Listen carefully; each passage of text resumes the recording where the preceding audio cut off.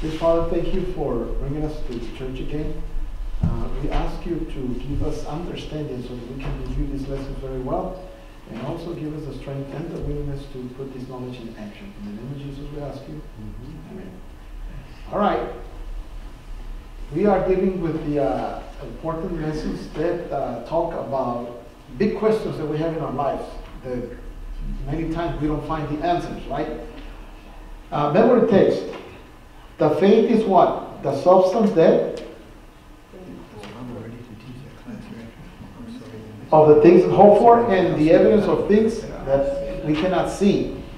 All right. Usually we think about this for something that we don't know about the future or a big decision or something, but also we think about it in relationship with what we are studying with suffering. First of all, we don't like the suffering.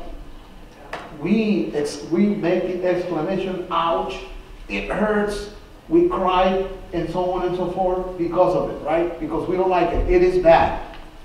And because it is bad, oftentimes we, we say, instead of ouch, when we are, we have a little moment that we can think just a little bit, we say, why? We don't understand. We don't, why, do we, why do I have to go through this? Why is this thing happening to me, right? We don't understand it. And in the book of Job, we know that something to Job was happening really, really, really bad. And he went through all those stages. He went, ouch. And then he didn't know why those things were happening to him. Now, besides that we having the right to say ouch, do we have the right to ask to ask questions, of course? Do we have that right? Okay. Now,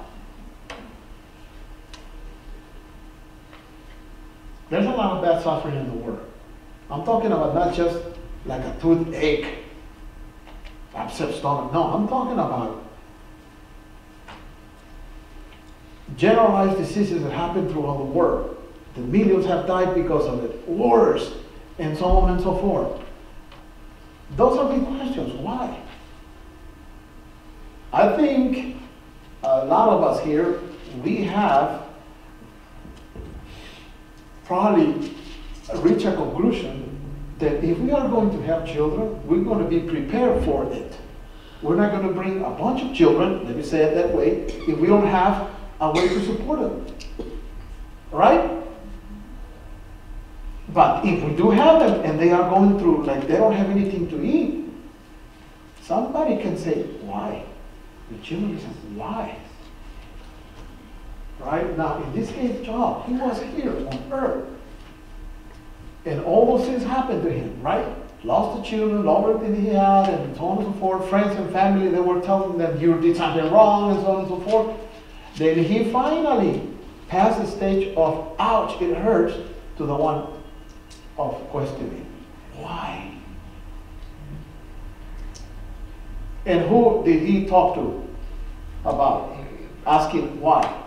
The friends? No. The wife? No. He talked to God. Right? Did he follow the advice of the wife and, and friends? No. If he did, he would have said, well, you know, the same thing you know, they say, you know, like, well, you know, I'm sorry I did something wrong. No.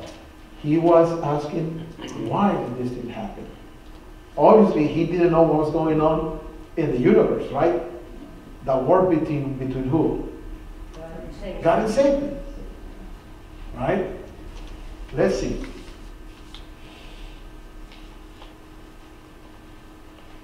And, and, and the introduction gives us that those examples when a lot of suffering is going on and there's no really answers for it. Or people, if they don't uh, look for uh, answers, they don't ask God, then they're going to come up with a bunch of, uh, let me say it again that way, with a bunch of what, of ideas of why. And usually, if not all the time, they're going to be wrong, right?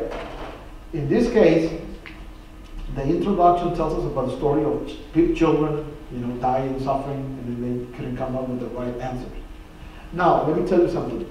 They, some of, uh, some of the people don't go to church. They cannot really sometimes, many times, come up with the answer. Now that we're here in, in, in, in the church, do we have the answer for the suffering? We do.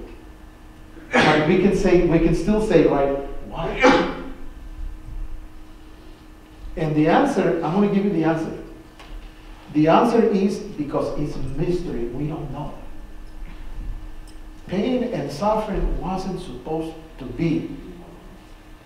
God, when He created us, He created us with the intention that we would live happily forever.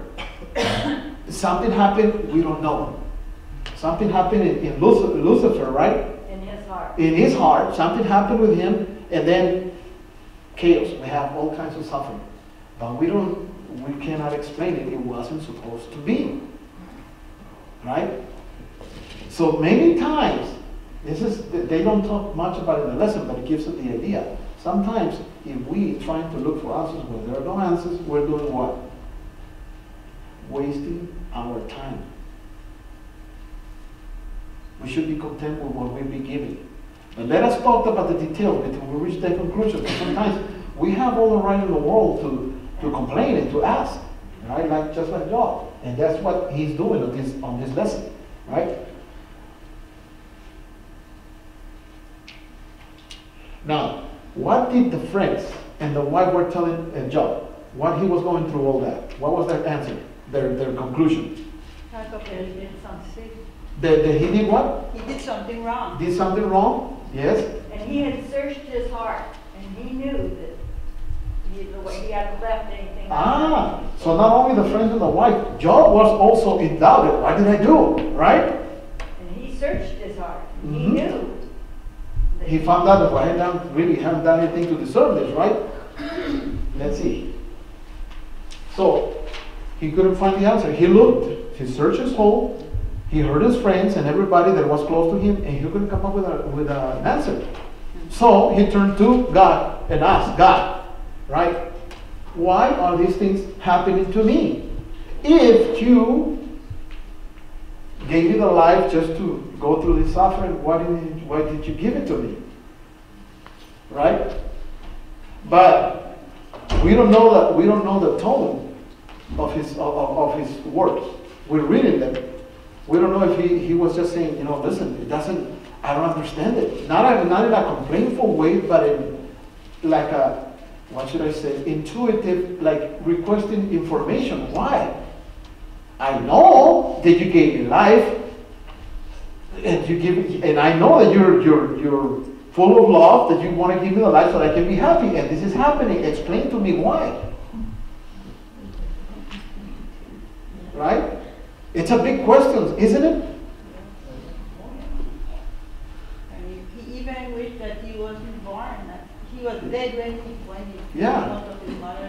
He's, he mentions it, it would have been better if you just, as soon as I was born, I you would have put me to death because I don't have to go through this suffering, right? Why? But now, we now, we have the privilege ourselves of looking at past history and more than just the history of Job. Because we know that there's a big conflict. We know that Satan challenged God and says, you know what? You know, he's good because you full of you, you protect him, you give him all these nice things. Right?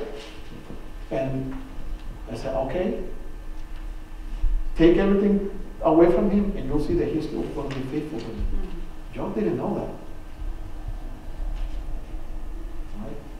Just like we, we don't see the whole picture. Okay?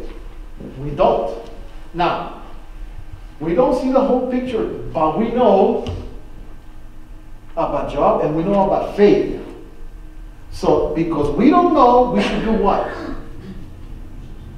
Let, let me, I need to give you another example. Children, children do this all the time. Sometimes we do it ourselves, right, at work. We need to clean the house. They need to clean the house. The parents, okay, I'm gonna go to work, but when I come back, I wanna, uh, I wanna see the house clean.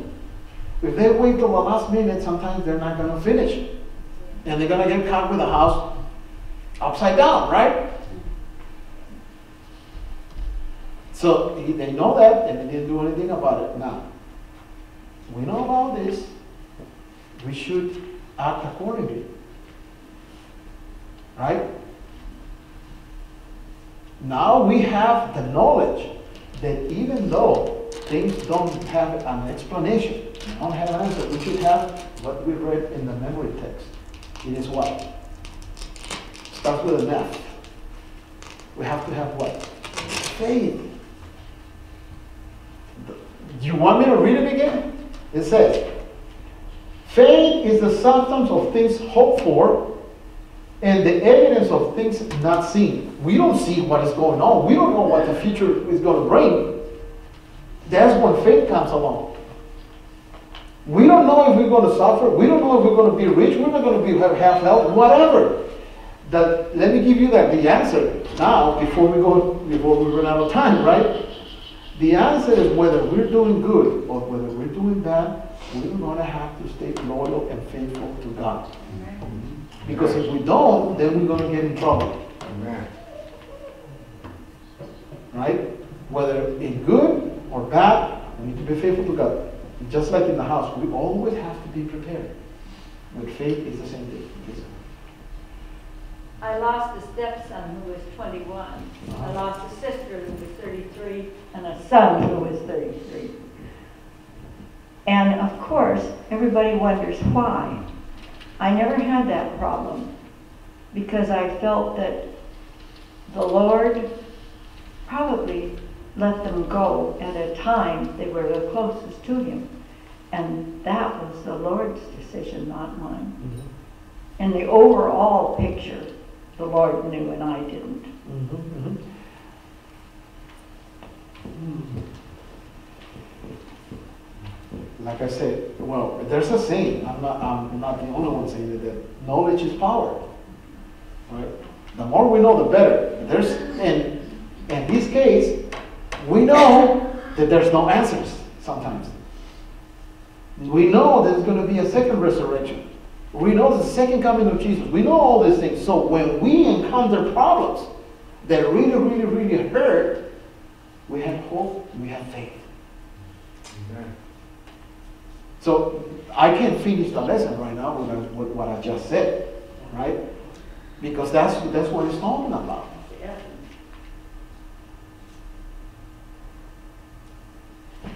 Now we have, Dwayne, please. Yes. um, A a text comes to my mind as uh, she finished her, uh, the sadness of what happened uh, uh, to her, to her life. Uh, That makes me, that that makes life meaningful. Otherwise, otherwise, life is a- nothing but a terror. And that is where Jesus said, "My peace I give unto you." Not as what? The world to you. No, and because the world, the world can't give us peace because we got the, we have the deception of Satan at all times attacking us with lies, with uh, uh, injuries, uh, and the Lord uh, is still in charge, and He gives, he gives us that, that balance of peace that uh, that is not anywhere else. Mhm. It isn't Exactly. regardless of what happens, it, it's hard, it's hard to accept that at times because uh, I, I've had experiences too that have been just awful. No answer why. No answer. But you gotta, you gotta accept that word. Yeah, and, and, and, and like, as I played with words a little bit, we have to have the knowledge that sometimes there is no answer, right? And, and, and. But and- someday we'll know. as much as and and whatever God can give will give us, because again, we are not God. No, I mean, But someday. someday we will learn uh, learn a lot of things, right? We're never gonna know everything. Uh, uh, just, to, but uh, I agree. Sometimes we're gonna have an explanation that is gonna satisfy us, right? Uh, I was gonna say because you know, like in relationship to Dwayne and, and, you said right, the word cannot give us that. And, and, and I'm going to make a comment on that. We have a job to do, right? We as a church, we have we have a, a, a mission, a commission that, that, that God gave us, that Jesus Christ gave us, right? Amen. Uh, it becomes difficult Because the world doesn't think like us. The, God's image has been blurred. And they don't want, when they say that I don't want to have anything to do with religion, of course, I notice that they're afraid to say I don't want to have anything to do with God. That more, mm-hmm. most of the time they say I don't want to have anything to do with religion, right? They, they feel safer to say that. It's because the image of God has been blurred. Amen. They think here in the, the church is going to be a prohibited set of laws that's going to keep them from doing whatever they want to do. For one of the things that they, they, they see. They don't see the benefit of coming to the church, that uh, supporting God's cause with our tithes and all that stuff. They don't see it. They think it's a waste.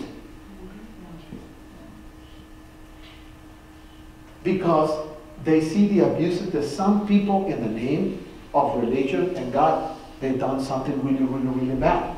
And they see that, so God's image been blurred. Why? Because they don't go to the right source to look for answers or the questions. Because they have the, all the right also to, to ask, why? Why they're suffering? Oh, and they, they blame God, of course. And we know where all that stuff's coming from, right? And we have to have faith because sometimes we have learned since we were little that if we do something wrong, something bad is going to happen to us. And if we do something good, we're going to be rewarded, right? Do, we learned that very well. What happened here with Job? What did he do to deserve such a fate? So it doesn't go along with what we've been taught, right? If we work hard, we're going to be rewarded. We're going to get a bigger paycheck, right? If we do something wrong, we're going to be in the poorhouse, right? Uh, I'm explaining that, you know, easy, in an easy way. But in this case, it didn't work.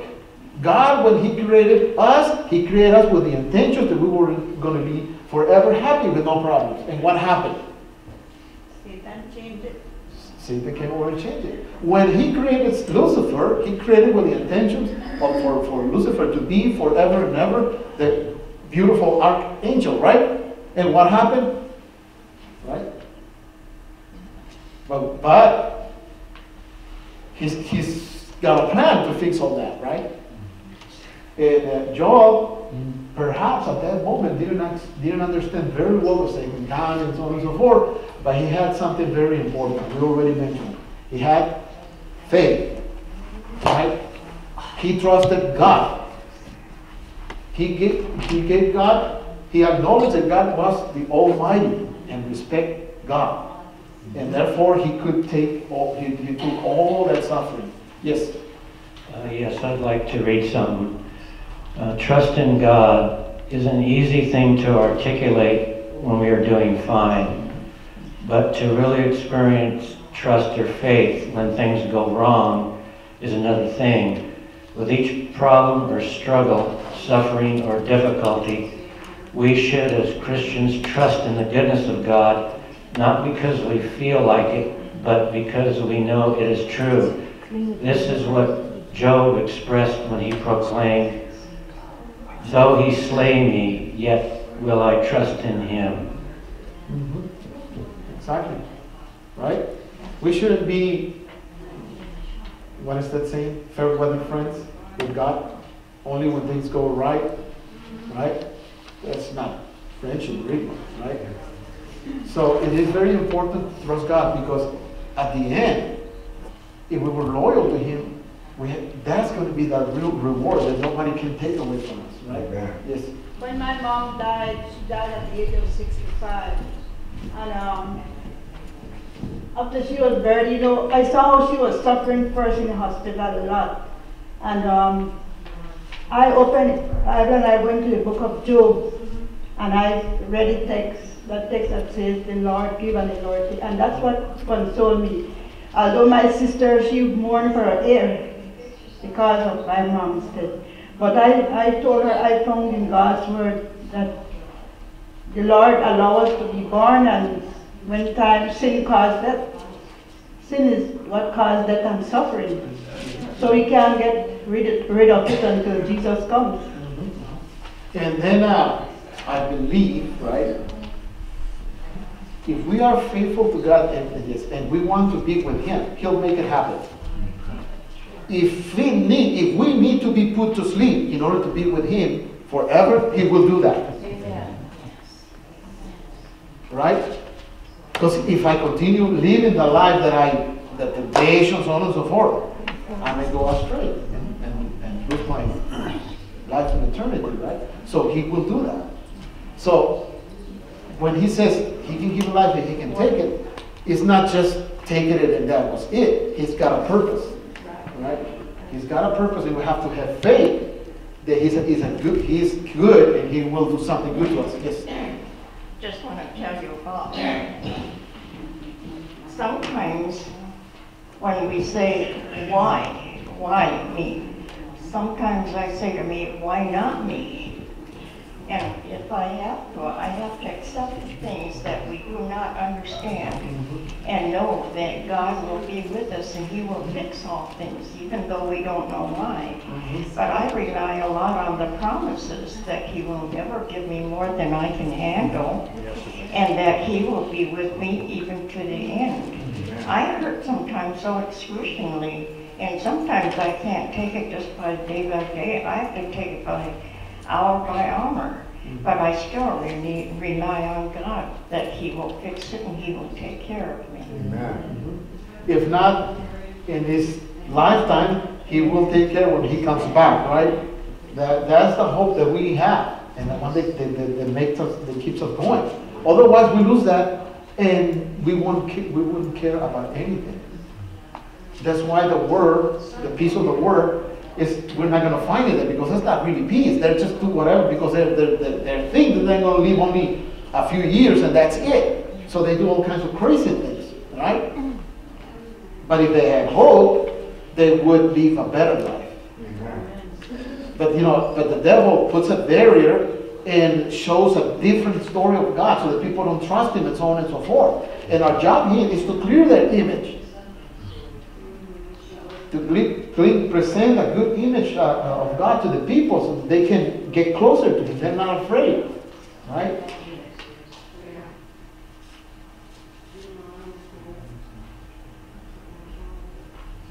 Now, they were saying, including Job, that uh,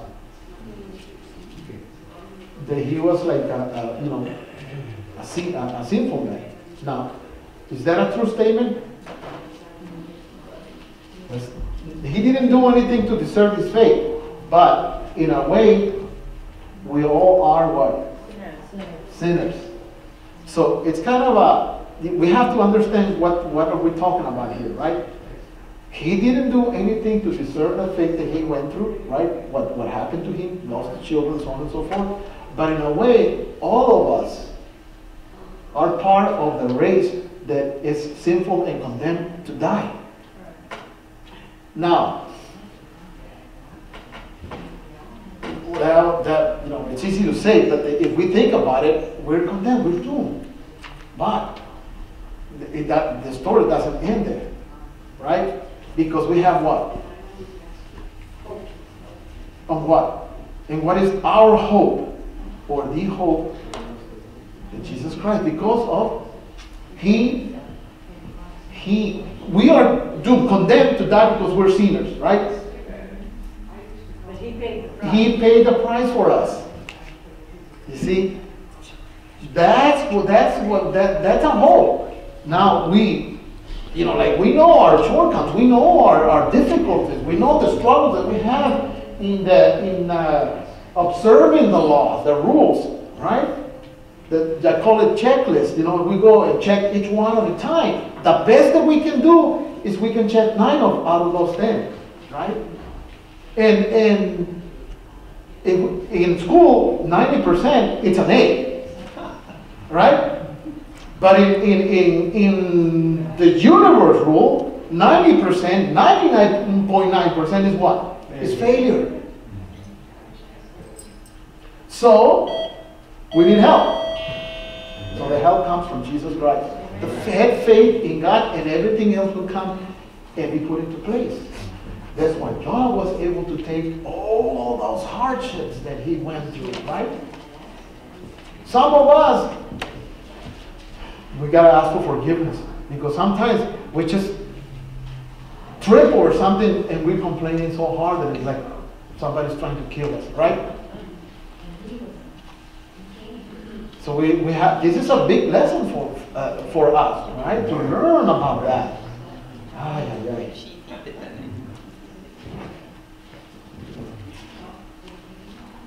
Now, the Bible also talks about common knowledge.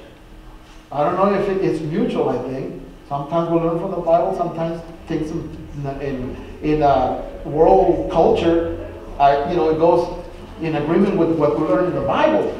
But what do we gain by complaining?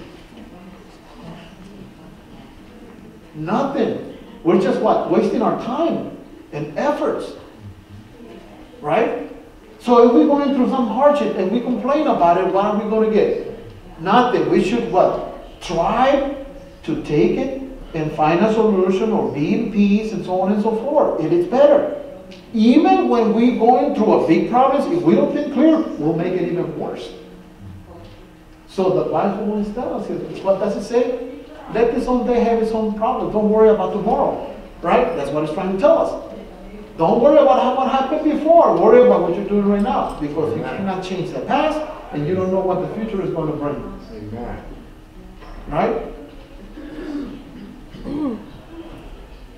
What else is this? Sometimes we worry about even about things that we don't even see. Sometimes I said, you know, even the things that I don't need make me sick, you know, like it's, it's, it's so absurd, right? Uh, there was something to do.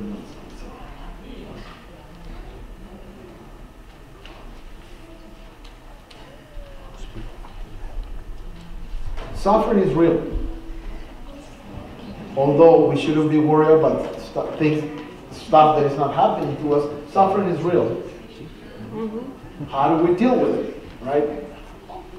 As we've been saying. We do have the right to complain and to ask questions, but not to worry to the point that we're making them worse. Not to the point that we are denying God. Not to the point that we are going to walk away from God because this is happening, because He's got a reason. Our sister here explained, lost him up. Right? Son. God's got a plan for it. Right? What else happened to our lives? We lost a job. We lost these. We had something bad happen to us, right? God's got a plan. Now, He didn't cause those bad things for us. It was the enemy that caused them. Let us not think about the world. The world blames God for it. Right? God can turn. Turn it around and protect us. Even that allows that to happen because He knows us. For example, I'm going to give you this last example, right? Money. Why I, I don't have a lot, lots of money? Perhaps it's because God knows that if I have a lot of them, I'm going to turn back. So He doesn't, He's not giving me uh, more money than what I have. Right? It could be. So why should I worry about that? You know, I try my best to go to work, work hard, so on and so forth. But let us not worry about tomorrow. See, all the lesson, all these things is telling us, take it easy.